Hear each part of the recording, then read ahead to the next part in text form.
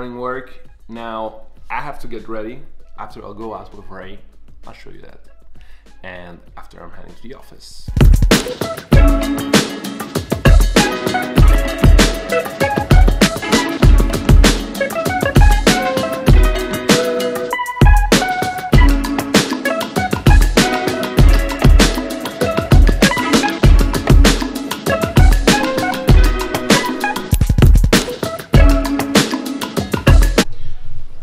And I are ready to go for a walk.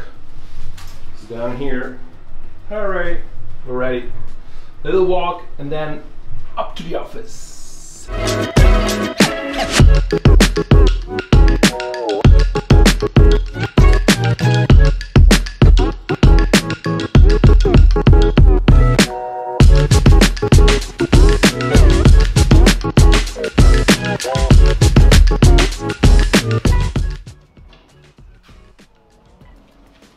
Go, good fellas. What I'd like to do is to give you some background information about what we're doing, what I'm doing with my The Pen Game Changer project, and also on my entrepreneurial journey. Uh, it's gonna be a few minutes of talking, so if you're not interested, you can go, uh, you can pass forward. Now,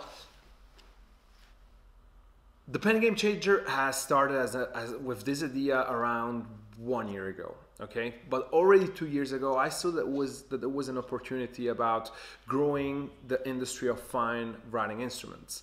Uh, because there is a beauty behind it.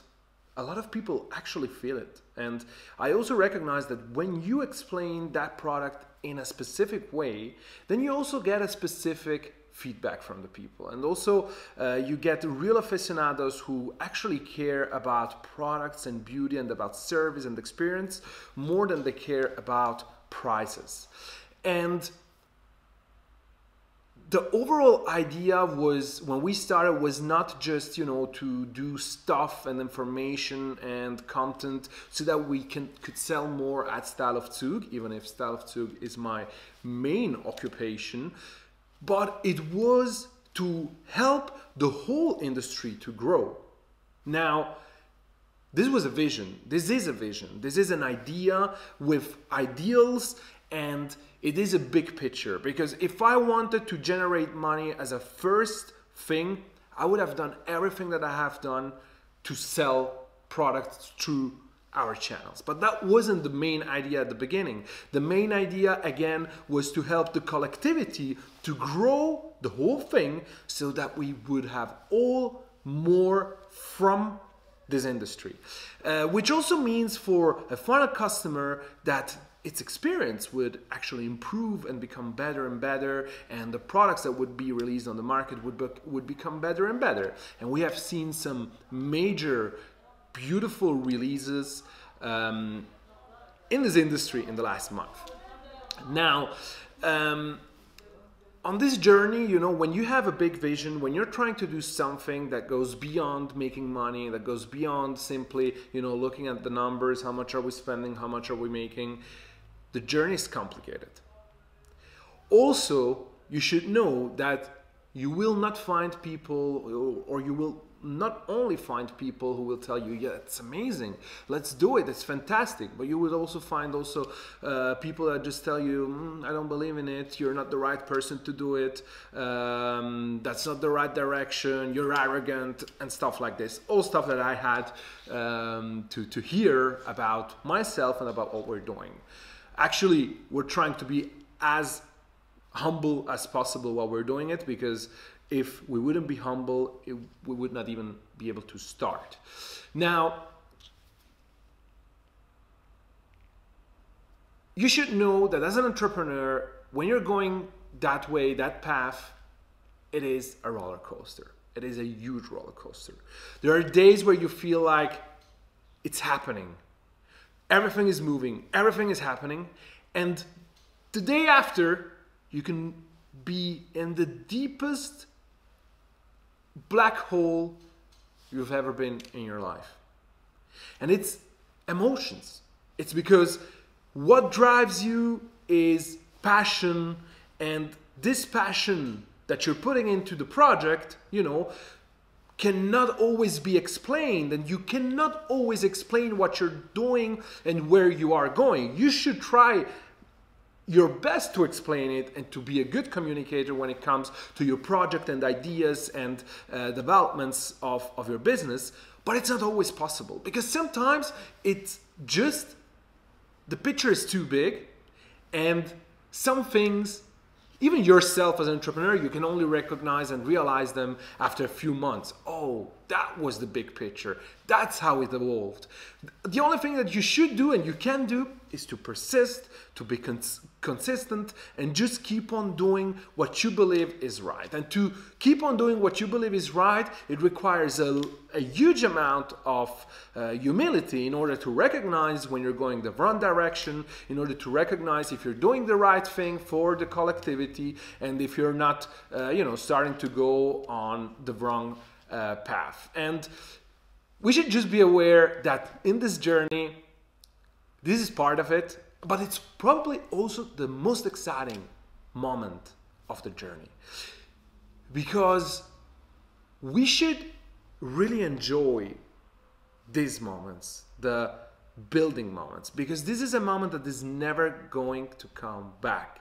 When you're building from scratch with zero something that could become extraordinary, that's the moment you should feel proud about it. And you know, I feel proud and I feel grateful for all the support I have received from brands, from from uh, retailers around the world, uh, from from customers more than anyone else, because that's the thing that matters the most. Is what do the final customer think about what we're doing with Inkstable, with Pen Statement, with Describe, with my channels, and so on? Do they like it? Do they like um, the, the, the brands that are working with us, and so on? Do they do they like what's what's happening? And when a final customer recognizes and gives harsh criticism, but is also able to recognize that it's going and moving somewhere, that's where I feel very, very proud. And that obviously uh, reflects, reflects into the industry and reflects for distributors, for retailers, and so on. But what I want to tell you uh, at last is on this journey, you're you know, on, on a journey, on an entrepreneurial journey where you're building something big that is bigger than yourself, you're gonna get out of the comfort zone. And getting out of the comfort zone means to not sleep at night sometimes. It means that you can't sleep. It means that you have the fire, the burning desire to do something in order to bring it further and further. And that is just okay. That is, that is exactly how it should be. Because getting out of the comfort zone and feeling not comfortable in your position means that you are assimilating and you are actually understanding and learning new things every day with discussions, with conversations, with challenges, with successes, and so on. All of these things put together help us to go where we need to go. And I told myself I need to actually take some more time to understand and reflect towards the successes we already had, towards the losses we've already had, and to be grateful for the path we're going because, you know, it is quite a satisfying one. And as a last thing, don't forget a war always has losses, but it also has gains. And at the end of the war. You can win the war or you can lose the war, but at least you've been there. But you should know, even if you win the war, there gonna be losses on the way, and it's just part of the game. Obviously, I'm not pro war at all, uh, but it's just to give you an idea of, you know, how it's gonna feel like.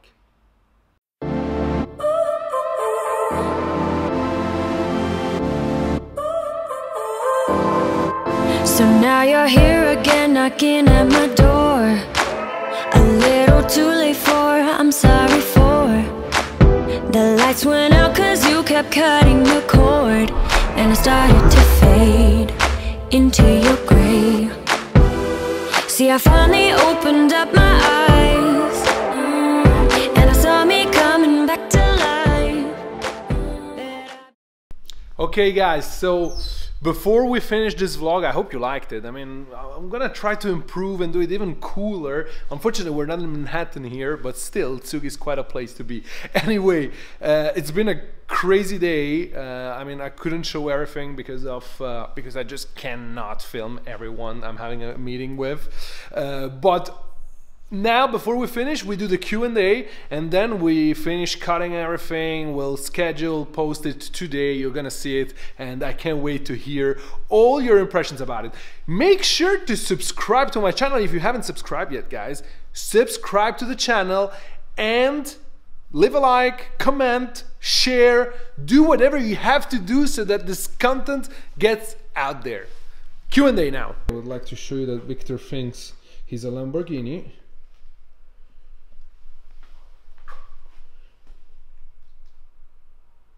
Yep. Okay, good fellas. I decided I'm gonna do this Q&A out here. I know everybody's gonna look at me while I do this, but that's totally fine. So let's start with the first question you guys asked me. There's a lot of people watching. Anyway, do you carry a briefcase or satchel on your store with you? Uh, I do not carry a briefcase at the moment. I always used to carry a briefcase, but right now what I'm doing is I'm using a uh, backpack. I really like backpacks. I'm still looking for the perfect backpack. Probably gonna go for something of uh, from one of Montblanc very very soon. But yeah, backpack is the answer. How do you convince customer to come to Style of Zug? I don't convince them. They get convinced by themselves. You know, since we started our businesses and everything, the idea was always to create a certain dynamism around the company that would attract customers automatically into the store. So basically, you know, I'm not a fan at all of, uh, you know, closing down the sale and stuff like this, aggressive sales, even if I respect aggressive salesperson who know how to start and finish uh, a sales pitch and actually do the sale. But for me, it's always been about, you know, creating a whole thing around the brand or around the company that then leads customer automatically into the store. I think one of the secret is, you know, uh, the fact that people when they're at home, when they're at work, they open up Instagram, they open up YouTube, they go on the website and they have everything that is part of our world, uh, everything that is part of the pen game changer or part of Style of Zug. In case of Style of Zug, they then get the chance to actually, you know, come to the store, enjoy a nice espresso, also touch the pens, uh, get get to know each other, you know. And I think this 360 degree experience is what makes the difference and then drives customers uh, to the store or to any business at the end of the day. Then another question we had on Instagram is why should someone use a fountain pen? My question is why should someone not use a fountain pen?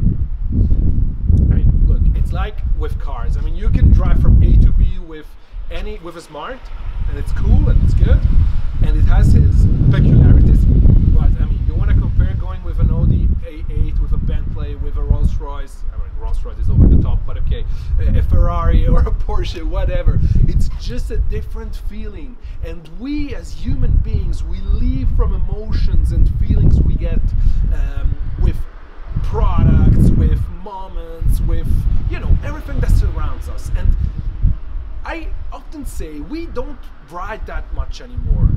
So at least those times that we take a pen in hand, it should be something nice, something valuable, something that feels like something you want to use.